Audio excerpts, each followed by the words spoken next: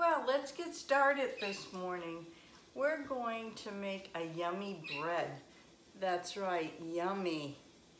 It's faster, no knead bread. And the time takes five minutes. The cook time is 40 minutes. And the total time is four hours and 25 minutes. But it's well worth it because it's really good. I'm going to read you the ingredients. It's three cups of all-purpose flour, one fourth teaspoon of yeast, active, dry, or instant,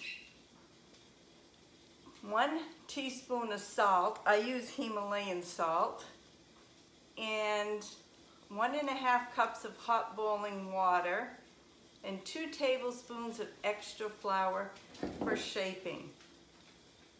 So let's get started with the instructions. Combine the flour, yeast, salt in a large bowl. Stir in the water until it's well combined.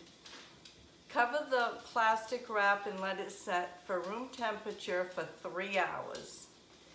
After three hours, the dough will become puffy and dot it with bubbles. Transfer it to a well-floured surface and sprinkle the dough with a little flour. Not a, hot, not a lot of dough, but just a little bit of dough. Then you want to transfer it into a well-floured surface with a little flour.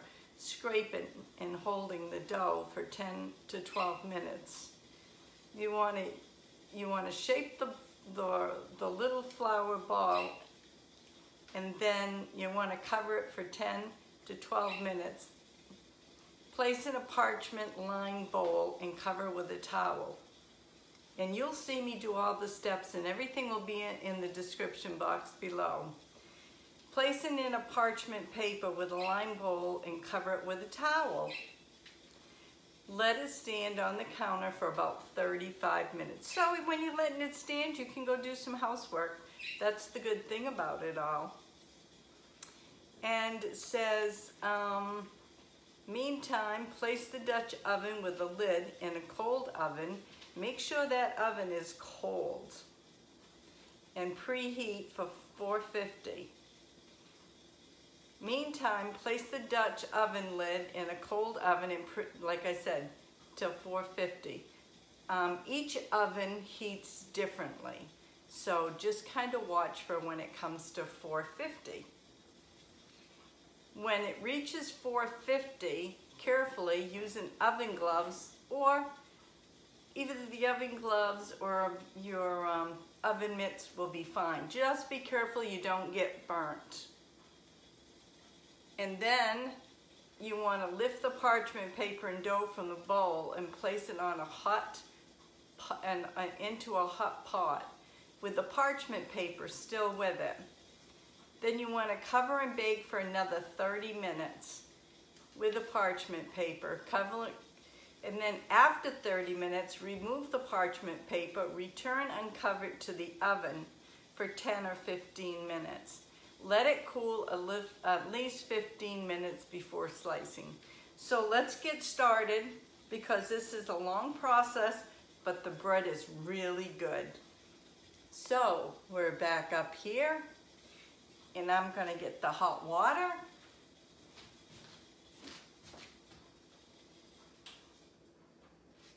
I've got it steaming. I got it steaming on the stove so it'll be nice and hot, just the way it should be. There we go. So, here we go. Three cups of bread flour right here. I use all-purpose King Arthur flour and I find it works great. You want to put your yeast in, one-fourth teaspoon of yeast. And you want to put um, your salt, which is one teaspoon. I use Himalayan salt. Get it all out here. It's been so humid. And then you want a cup and a half of hot water. Handle is really hot here. You want a cup and a half. So there we have it.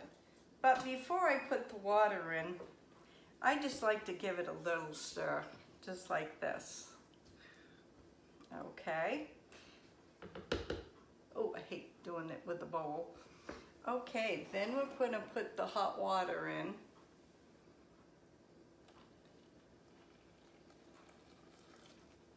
Okay. Now we're gonna do it till it's well combined. It says about two tablespoons extra for shaping. So we're gonna keep the two extra out and we're just gonna combine all this ingredients. Then we're gonna cover it in plastic and let it stand three hours, just like this.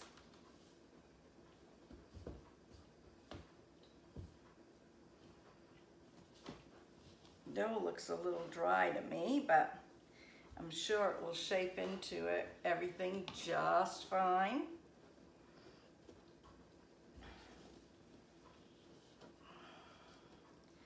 Okay, so I'm gonna cover with plastic. Don't go okay, too folks, far. here we go. This is what it looks like right here. We got it, let me get it down here. Just like that.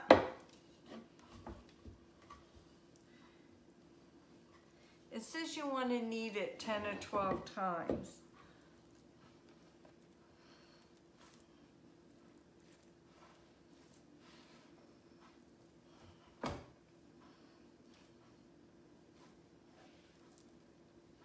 We'll see. I don't know. I've never made this before.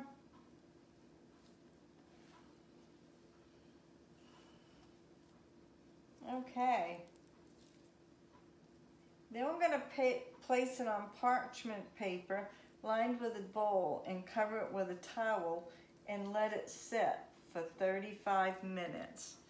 Okay. I've kind of rounded here. Pat it hard. Okay, I got the parchment and the bowl I'm going to use. Stick it just like that. We're gonna stick this just like that. I got a clean towel here and that's gonna stay like that for 35 minutes and I'll okay, bring you back. folks, I've taken the I've taken the hot bowl out of the oven well, this is what I'm using because I don't have a fancy one. And um, we're going to take the dough that's in here and we're gonna transfer it into the parchment, in the parchment paper and the dough, and this is wicked hot. I'm still, I'm still not real convinced if this is going to come out or not, but we'll see. Okay, we're gonna transfer it in here.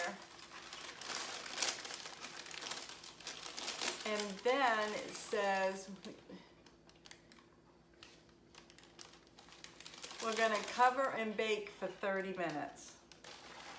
Okay, it's going in there with a parchment paper. Gotta be careful because this is wicked hot. Wowza. Okay, it's going back in the oven. So I'll bring you back and we'll see Just what's took it happen. out of the oven right here. It's wicked hot. Ooza. And then it says remove it from the uncovered paper. Still not quite sure about this. Looks like a lot of flour, just not, I don't know. We'll see. I wonder if I can take it out with this.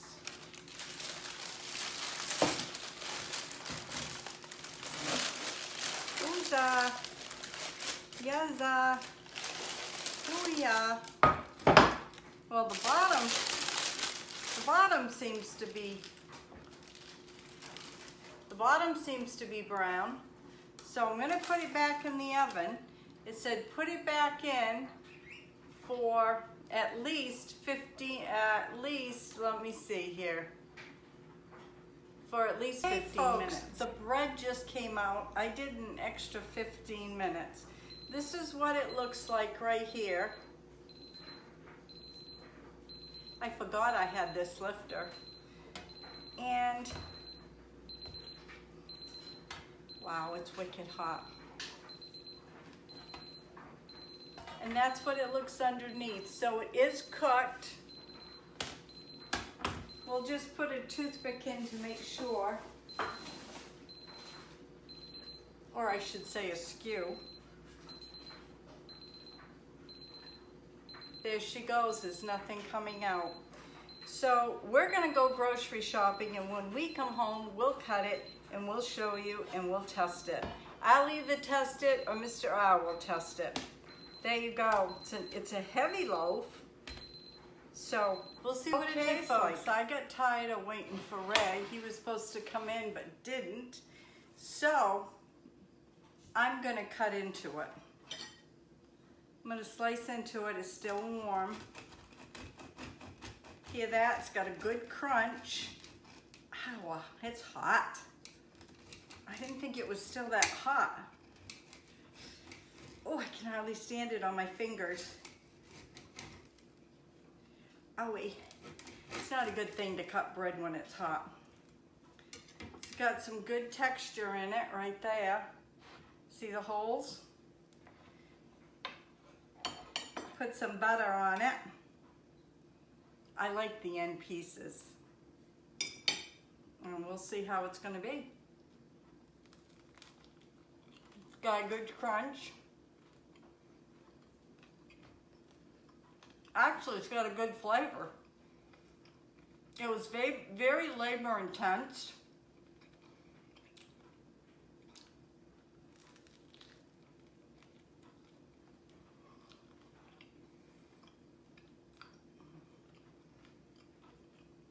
I was wondering when I was making it, but I'd make it again. So I'll put everything in the description box below. And um, you never know what's going to be on my videos. Have a great day. Bye.